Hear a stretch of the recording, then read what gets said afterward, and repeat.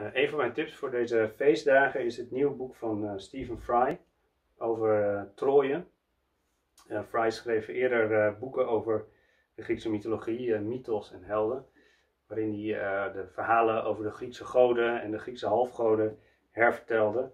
en in dit boek vertelt hij wederom in zijn eigen woorden het verhaal van, van Troje, de mythische stad en ook echt bestaande stad eh, in het uh, Egeïsche gebied, Mediterranee.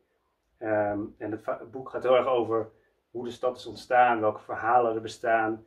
Eh, en natuurlijk gaat het ook heel erg over wat Homerus en Virgilius ons over de stad en, en, en zijn ondergang hebben verteld. En Fry is, is, kan zo leuk in zijn eigen woorden al die verhalen opnieuw vertellen. En het is echt een genot om te lezen. En ik denk voor deze feestdagen ehm, ook echt uh, iets waar je met plezier naar kan uitkijken. Uh, echt een tip voor de donkere avonden.